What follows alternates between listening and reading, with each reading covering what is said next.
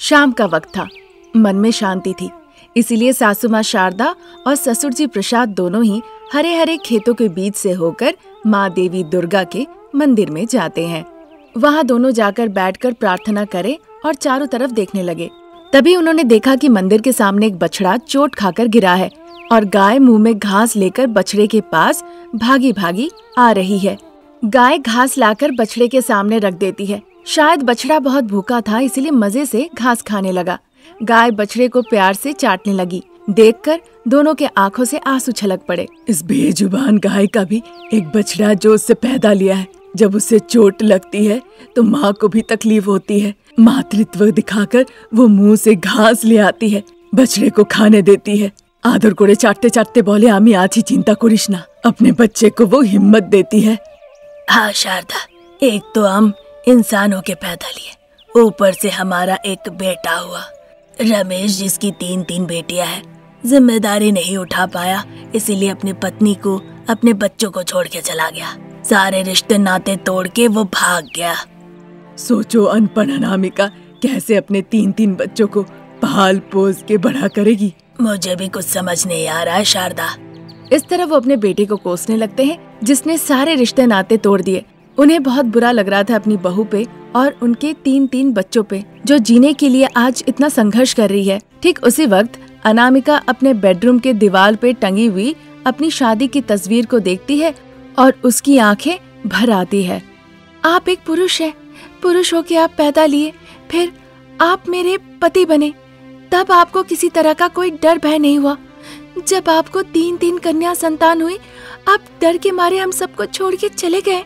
ऐसा कहकर रो ही रही थी तभी उसकी तीन बेटियाँ शशि तारा और मोनी तीनों उसके पास आते हैं। फिर सबसे छोटी मोनी माँ मुझे भूख लगी है।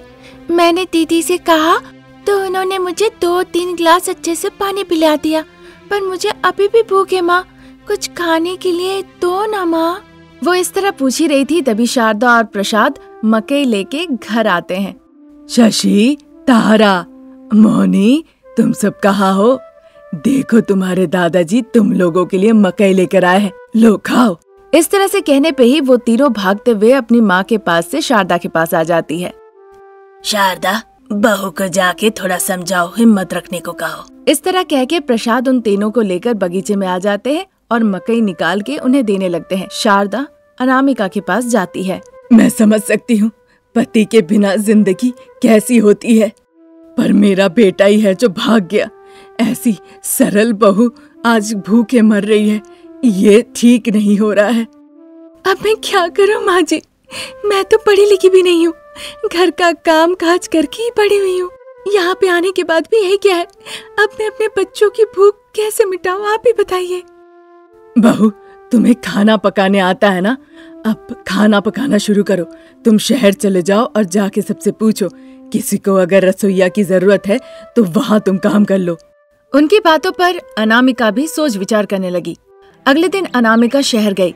वहाँ गली गली घूमकर वो लोगों से पूछने लगी, अगर किसी को रसोईया की ज़रूरत हो तो। अनुजा नाम की एक महिला ने अनामिका को रसोईया के काम पे रख लिया। इस तरह धीरे धीरे अनामिका दो तीन और घरों में रसोईया का काम करने लगी, फिर अपनी तीन तीन बेटिया और ससुराल वालों के साथ खुशी खुशी रहने लगी। एक दिन जब अनामिका अपने तीन बच्चियों को लेकर बाज़ार से घर लौट रही थी, तभी उसके सामने आके एक बड़ी सी गाड़ी रुकती है। अनामिका और तीन बच्चियाँ हैरान होकर देखने लगी, लेकिन कार के अंदर बैठी मेघना अनामिका को पहचान ली। मेघना अनामिका की बहुत अच्छी दोस्त थी। वाह, अनामिका! बहुत दिनों के बाद मिली। चलो, पास में ही मेरा घर है। उसकी बातें सुनकर शशि, तारा और मोनी तीनों गाड़ी को देखकर उत्साहित हो गई। वो तीनों गाड़ी में बैठने के लिए जिद करने लगी। अब कोई चारा नहीं था, इसीलिए अनामिका बच्चियों को लेकर गाड़ी में बैठ जाती है। गाड़ी चलने लगी। गाड़ी के अंदर तारा, शशि, मोनी को ठंडक महसूस होने लगा। उन्हें बहुत अच्छा लग रहा था। वो तीनों बहुत खुश थी। पंद्रह मिनट के अंदर गाड़ी एक बड़े से घर के सामने आके रुकती है। मेघना, अनामिका, शशि, तारा, मौनी सभी गाड़ी से उतर के घर के अंदर जाती हैं। घर बहुत महँगा था अच्छा सोफा रखा हुआ था। बच्चे सोफे पे चढ़ के मस्ती करने लगे। मेघना के पति अरविंद दूसरे कमरे में लैपटॉप में कुछ काम कर रहे थे। शशि, तारा, मौनी ज़ोर ज़ोर से हल्ला मचा रहे थे। वो सुनकर अरविंद कमरे से बाहर निकल आते हैं। बच्चे, हल्ला मत करो। मैं काम कर रहा हूँ। इतना कहकर वो अंदर चले जाते हैं। मेघना अनामिका बच्चों को खाने के लिए डाइनिंग टेबल पर बुलाती है। पूरा डाइनिंग टेबल तरह तरह के पकवानों से सजा हुआ था। बच्चे डाइनिंग टेबल पर बैठ के मुझे ये चाहिए, मुझे वो चाहिए कहकर ज़ोर ज़ोर से हल्ला मचाने लगते हैं। और हल्ला मचाते हुए वो खाना भी खाते हैं।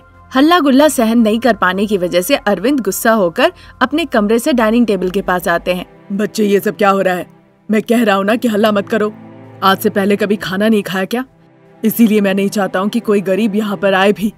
फिर वो खाना खाते बच्चों को धक्का देकर घर से बाहर निकाल देता है। बच्चे रोने लगे। जैसे ही दुखी होकर अनामिका घर से बाहर आई, अरविंद पीछे से दरवाज़ा बंद कर देते हैं। फिर उसी रात, माँ, हमारी एक इच्छा है, पूरी करेंगी आप? वो क्या है बच्चा? क्या आप कभी अमीरों वाला खाना खिला सकती हैं हमें? हाँ माँ, आंटी के घर पे जाने के बाद वहाँ पे स्वादिष्ट भोजन खा के हमें बड़ा अच्छा लगा। हम भी चाहते हैं वैसे ही खाना। क्या आप ऐसा हमारे लिए कर सकती हैं? ये कहकर वो तीनों बच्चे जिस तरह से दुखी हुए, ये अनामिका से सहन नहीं किया गया। फिर दो तीन दिन निकल गए। एक दिन जब बच्चे स्कूल गए हुए थे, अनामिका अपनी सासू माँ की मदद से तरह तरह के पकवान बनाती है और साथ ही स्वादिष्ट चिकन बिरयानी भी बनाती है। सिर्फ़ उतना ही नहीं, फ़िश, एग, मटन इस तरह के तरह तरह के पकवान थे। फिर शशि, तारा और मौनी स्कूल से लौट आती है। उन्हें पकवानों के सुगंध आने लगते हैं। बच्चे, अब तुम लोगों की इच्छा पूरी होने वाली है। जाके जल्दी से हाथ पैर धो के आ जाओ। ये सुनकर शशि, तारा, मौनी खुश होकर जल्दी जल्दी हाथ पैर धो के खाना खाने के लिए बैठ जाती है। बच्चों के चेहरे पे वो खुशी देखकर अनामिका अपनी सारी तकलीफों को भूल जाती है।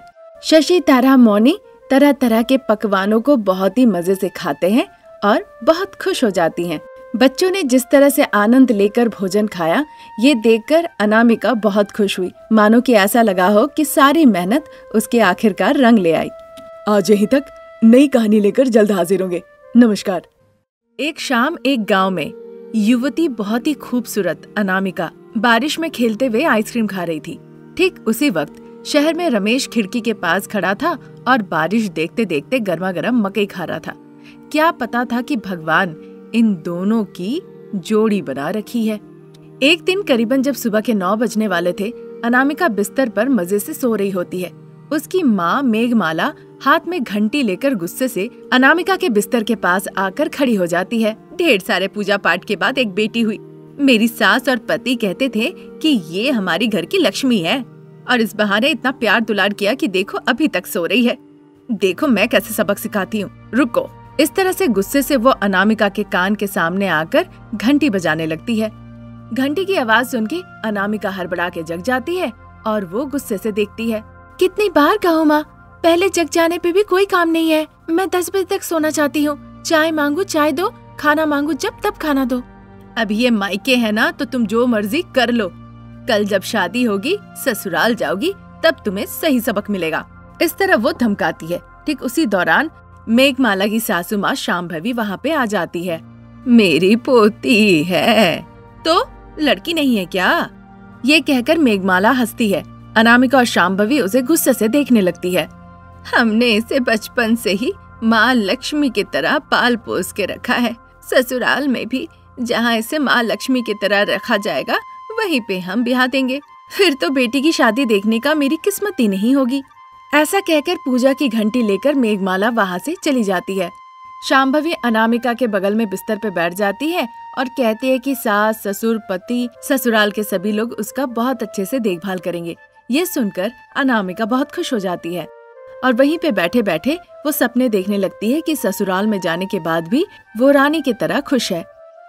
उधर शारदा, प्रसाद और रमेश तीनों तैयार होके आके हॉल में बैठ जाते हैं। पंडित जी ने कहा था कि समय पे आ जाएँगे पर अभी तक आए नहीं। समय पे लड़की देखना है फैसला लेना है बहुत काम है। नहीं तो जाना ही रोकना पड़ेगा। परेशान मत हो शारदा। पंडित जी के बारे में तो तुम जानती हो। वो कह ही रहे थे तभी हड़बड़ाते हुए पंडित जी वहाँ पे आते हैं। शारदा जी माफ़ कीजिएगा थोड़े रास्ते पे अटक गया था। चलिए अभी चलते हैं। पंडित जी पहले ही बता देती हूँ मैं उसकी परीक्षा लूँगी। अगर वो लड़की परीक्षा में पास करती है तभी वो इस घर की बहू बन पाएगी और नहीं तो नहीं बनेगी। अरे शारदा मेरी माँ ने तुम्हारी क्या परीक्षा ली थी यहाँ? अब समय बदल गया है जी। आपकी मर्ज़ी आप उसे हिंदी इंग्लिश मैथ साइंस जिसकी भी परीक्षा लेना चाहती है आप ले लीजिए। मुझे गारंटी है वो ज़रूर पास करेगी और इसी घर की बहू बन के वो आएगी। ऐसा कहकर वो तीनों घर से निकल जाते हैं। फिर अनामिका के घर पे पहुँचते हैं। शारदा प्रसाद एक सोफे पे जाके बैठते हैं। अनामिका एक चेयर पे बैठती है। उसके चेयर के पीछे उसकी माँ मेघमाला और दादी शाम शाम्भवी खड़ी होती है। रमेश और अनामिका एक दूसरे को देखकर शर्मा जाते हैं। देखो बेटा मैं तुमसे कुछ सवाल पूछूँगी सही जवाब देना। अगर तुम्हारे जवाब सही हुए तभी घर की बहू बनोगी। पूछिए मैं जवाब दूँगी। ससुराल में बहू कैसी होती है? आज्ञाकारी शांत माँ लक्ष्मी की तरह। अनामिका का ये जवाब सुन के शारदा बहुत खुश हो जाती है। वो हर मुद्दे पर बात करती है, फिर शुभ मुहूर्त देखकर रमेश और अनामिका की धूमधाम से शादी करा दी जाती है। उसके बाद अनामिका अपने ससुराल में आ जाती है। एक दिन अनामिका नींद से उठ के सीधा बेड पे बैठ जाती है। सासू माँ शारदा हाथ में कॉफ़ी लेकर वहीं पे खड़ी थी। बहुत अच्छा माँ जी, हर दिन जब मैं सुबह उठूं, आप मुझे ऐसी ही कॉफ़ी ला के दिया कीजिए। कहकर वो कॉफ़ी पीने लगती है और शारदा वहाँ से चली जाती है। फिर थोड़ी देर के बाद बहू रानी आके डाइनिंग टेबल के पास बैठती है। शारदा गर्मा गर्म नाश्ता बनाकर वहाँ पे ले आती है। अनामिका अच्छे से नाश्ता करती है। शारदा उसी के बगल में खड़ी होकर हाथ पंखे से हवा कर रही होती है। थोड़ी देर के बाद अनामिका जाके सोफे पे बैठती है। ससुर जी प्रसाद टीवी ऑन कर देते हैं। तब तक पति रमेश उसे अखबार ले आके देता है। इस तरह का बिस्तर पे लेटे लेटे बहुत ही हसीन सपना देख रही थी अनामिका। वाह, ससुराल में बहू की ज़िंदगी शुरू हो गई। कितना अच्छा है। इस तरह सोचते हुए वो आँखें खोलती है। तभी सासू माँ शारदा हाथ में झाड़ू लेकर वहीं पे खड़ी होकर अनामिका से गुस्से से कहती है, अनामिका, जल्दी से नींद से उठ के झाड़ू लगाओ और रंगोली दो। अब चूँकि कोई दूसरा चारा नहीं था, इसलिए अनामिका झाड़ू उठाती है और आँगन में जाके झाड़ू लगा के वहाँ पानी छिड़क के रंगोली डालती है। फिर वहाँ शारदा आके, रंगोली डल गया ना, अब जल्दी से किचन में जाओ, वहाँ पे बर्तन पड़े हैं, साफ़ करो। अब चूँकि कोई और चारा नहीं था, इसीलिए अनामिका जाके बर्तन धोने लगती है। तब तक शारदा सब्ज़ी लेके वहाँ आ जाती है। बहू, एक चूल्हे पे चावल चढ़ाओ और दूसरे चूल्हे पे सब्ज़ी काट के सब्ज़ी बना लो। तुम्हारे पिताजी को अभी के अभी ऑफ़िस निकलना है। जल्दी करो। इतना कहकर वो चली जाती है। अनामिका रोने ही वाली होती है। पर अगर वो ज़ोर ज़ोर से रोई और सासू माँ आके उसकी पिटाई कर दी तो ये सोचकर वो मनी मन बहुत दुखी हो जाती है। और मुझसे नहीं हो पा रहा है। अब मैं खाना पकाने के बाद थोड़ा आराम करूँगी। ऐसा सोच रही थी, तब तक शारदा जाके घर पोछने के लिए पोछा ले आती है। सब्ज़ी बनाने से पहले जाके जल्दी से घर को पोछ दो। बिना साफ़ किए हुए घर में नाश्ता नहीं पड़ोसते ये बात याद रखना। ठीक है माँ जी। इतना कहकर डंटा लेकर अनामिका घर को पोछने के लिए चली जाती है। वहीं सासू माँ शारदा सोफे पे बैठी होती है। तभी किचन से कुकर की विसल सुनाई देती है। अनामिका, कुकर का तीन विसल हो गया है। जल्दी जल्दी साफ़ करके खाना ले आके डाइनिंग टेबल पे रखो। बाप बेटा आके नाश्ता करेंगे। इतना कहते ही अनामिका जल्दी जल्दी घर को साफ़ करती है फिर डंटे को साइड में रख के वो भागते हुए किचन में जाती है। गर्मा गर्म इडली कटोरी में लेकर अनामिका डाइनिंग टेबल पे लाके रखती है। फिर शारदा, प्रसाद और रमेश तीनों आके डाइनिंग टेबल पे बैठते हैं। अनामिका को भी बहुत भूख लगी थी। प्रसाद उसके चेहरे को देखकर कहने लगते हैं, तुम भी जाके नहा के आओ बहू और फिर नाश्ता कर लो। ये सुनकर अनामिका बहुत खुश हो जाती है, पर उस बीच में शारदा घुस के कहने लगती है पिताजी ने कहा इसलिए सुन के, खुशी के मारे तुम दस इडली मत खा लेना। बस चार ही इडली खाना है। इडली खा के जाके कपड़े धो लेना। उसके बाद बाज़ार जाके मेरे साड़ी का फॉल लगवा ले आना। हे भगवान, ससुराल में बहू का ऐसा हालत होता है क्या?